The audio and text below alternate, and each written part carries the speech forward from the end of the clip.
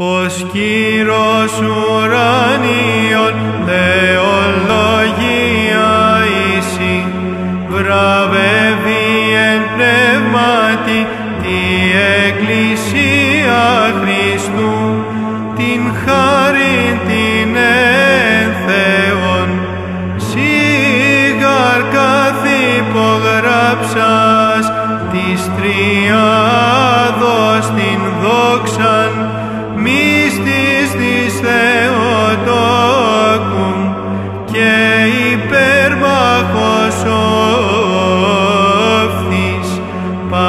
εις λαμπρός εδοξάζει.